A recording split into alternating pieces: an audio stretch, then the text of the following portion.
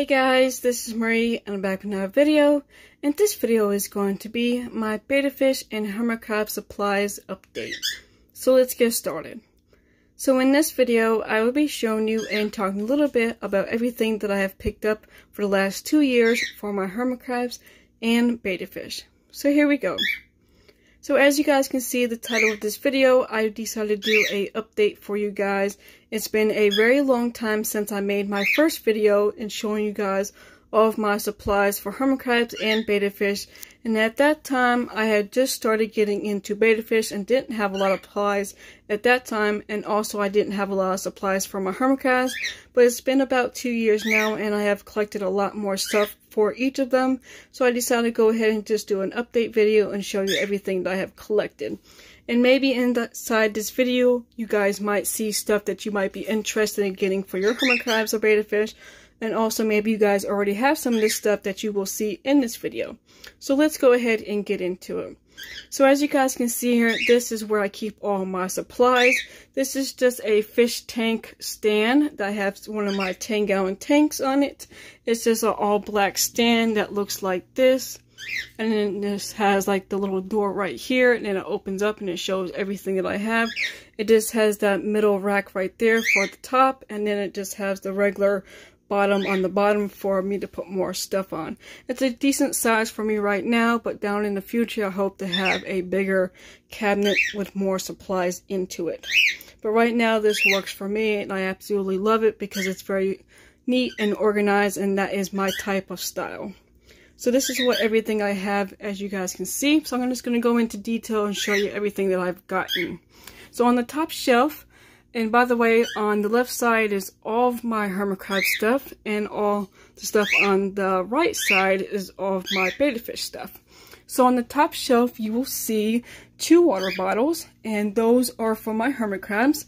One is for fresh water, and the other one is for salt water.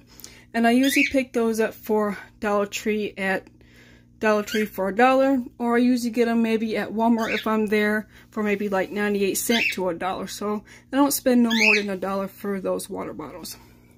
So moving on to the hermit crab food, I'll go ahead and show you what's in this bin. This is a Dollar Tree bin. I got this at Dollar Tree and I absolutely love it because it's plastic and very organizing and it's easy and it's a perfect size for this little section up here and I absolutely love it. And then also it's a dry eraser thing so you can actually write on it and erase whatever you want to put on there. So I absolutely love that. Now in this bin is where I keep all of my hermit crab food. And here I have these bags with hermit crab food in it. And these are from Hermit Crab Patch. Now I used to keep them inside a bag, but I wanted to keep them more clean and neat and more organized and also more fresher.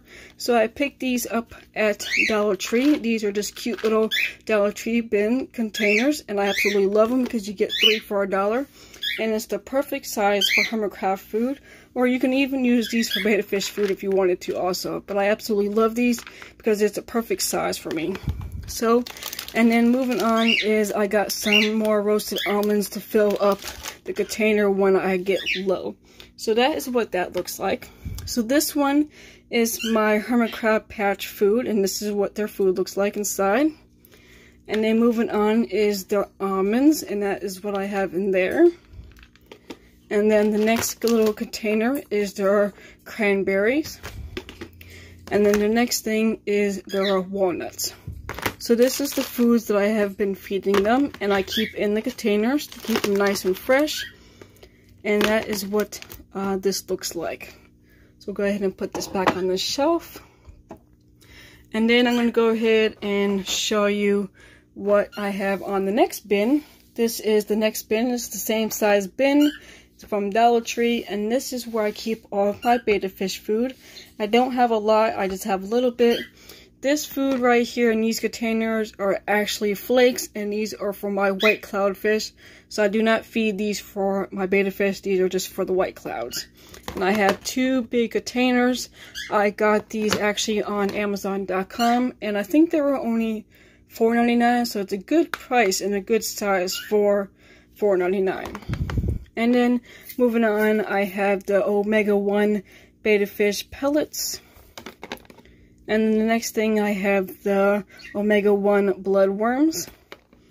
And then I also have the geographic uh, betta fish uh, pellets also. So that is what those look like. So I don't have a lot for that, but it is good enough for right now. And it holds me off for a little while. Now moving on to this side is where I have all of my little cups that I have recently gotten when I got my betta fish. These are all the betta fish I have had for the last maybe two years. And I just kept their cups because it you guys can use these pretty much for anything. If you're cleaning out your betta fish tanks, you can put your betta fish back in there.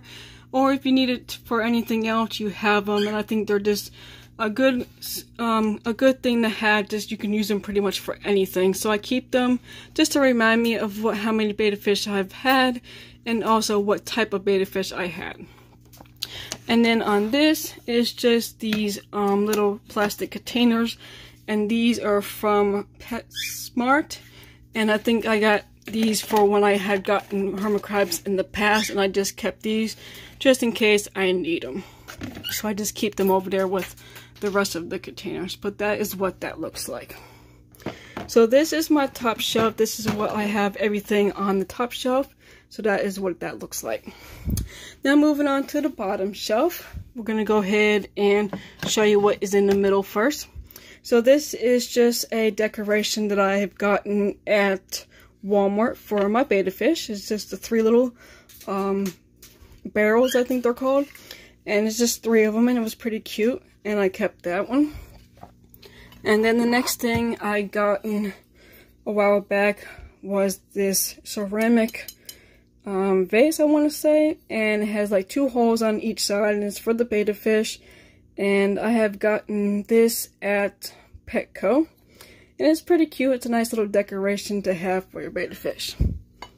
Moving on to the next thing is these containers. These containers are also at Walmart and is the same thing as these but just a little bit bigger and you can also write on them too if you wanted to. So I'm going to go ahead and take this one out and show you what is in this bin first. And uh, I got these bins very overloaded so there's a lot of stuff in there. So we're going to go ahead and, and then these are the containers that I showed you up there and I just have two extra ones because like I said there's a three pack of them so this is what they look like in the three pack so I just have two extras. So if I ever get more food for hermit crabs I will have those.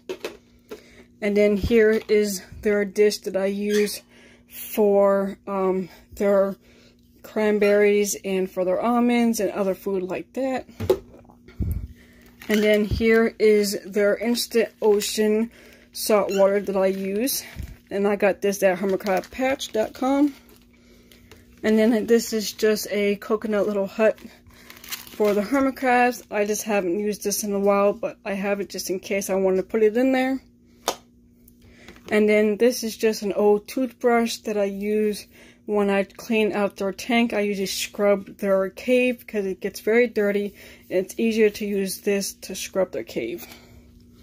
And then here is just a coconut climbing wall that I have bought in a while back, but I still haven't put it in the tank, but hopefully down the road I will get that in there. The next thing I got is, oh, these are just little um, strip things for this, for whenever I put it in there. And I just got some duct tape, and this is just for the screen and the duct tape to keep the humidity in, so I just keep that in there. And then here is some hermit crab moss, terrarium moss that I use for the hermit crabs. And then here is actually a shell um, measure that I got on um, hermitcrabpatch.com a very long time ago. It's been a while since um, I've gotten this. And this helps you measure your hermit crab shell to see how big it is and if you need to go any bigger than that. So that is what that is for. And then these are just little plants that I've gotten on Amazon.com. And I can't remember how much these were, but they were no, I think they were less than $10. And I got two more packs of these. There's a pack in this one, and there's a pack in this one. So I actually got four of them. So I got two extra ones just in case for backups.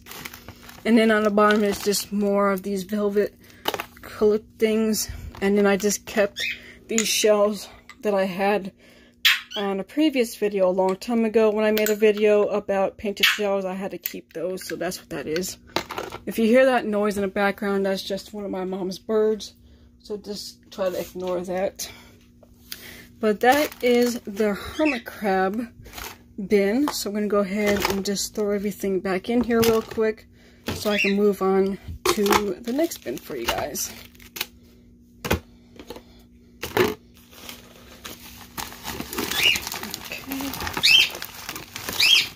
Alright, so we'll go ahead and put that back in there. And now moving on to the, oh, one more thing. I forgot these. This is just a small bin that has all of my hermit crab shells in it. And I have a lot of hermit crab shells that I've collected over the past year. But these are all shells that I've collected on Amazon.com. So that is all of my shell collection so far. So it's been pretty good. And I just keep them in this container. So we'll go ahead and just put that back in there. Now we'll go ahead and move on to this container. And this container is the betta fish container. Okay. This one is overload too, so there's a lot of stuff in here. Alright, so the very first thing I have is this little plastic plant. It's very soft. It will not hurt the betta fish. It's very soft and I absolutely love it because it has like a hint of blue and purple on one side and it has the green on the other side. The next thing I got is the Natural Geographic plant that I absolutely love. I got three of these and they're all green like a hint of purple or pink on top. The next thing is these filters that I have gotten. I have a lot of those. I keep them on stock as much as I can. And these I get actually at Walmart. And then here's what it looks like outside of the bag. The next I got is this aquarium salt for the betta fish that helps them make sure their gills are functioning good and it keeps them very help healthy and happy. The next thing I got is this Prime conditioner. And I absolutely love this stuff. This is the best stuff I have ever gotten. And then I also got some stress coat. I really don't use this anymore. I used to use this first, and then I switched over to the Prime. And then the next thing I got is just this little decoration that is like a little flower bowl, and it has holes on each side, and it's pink. And then I also got a blue one that's already in the tank. And then this I got on Amazon. This is just food for snails when I had snails at that time. And then the last couple of things is this net. I don't use this for the hermit, um, crabs or the betta fish. I use this for my white cloudfish when I had to take them out of the tank. And the last thing I got is these decorations last year for Christmas time. So hopefully I'll be using these for this year for Christmas to put them inside their tanks. This is just a Christmas tree. Then we got a sign that says Merry Fishness. And then we have a Santa Claus. So that is pretty much everything. And then the last thing I got is just a little container with extra rocks in it in case I need them. So that is pretty much everything. So we're going to go ahead and throw everything back in here very quickly and I can just show you guys so you guys can see it one more time while I'm doing it in case you guys see something that you guys would be interested in getting.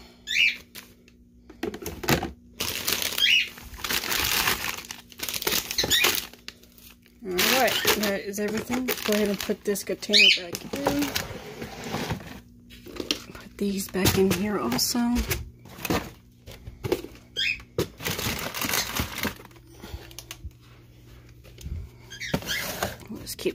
There. Alright, so that is all of my betta fish and hermit crab supplies. I hope you guys enjoyed this video. Please give it a big thumbs up, comment down below, and definitely don't forget to subscribe to my channel to see more. Until next time, I will see you guys in the next video. Bye!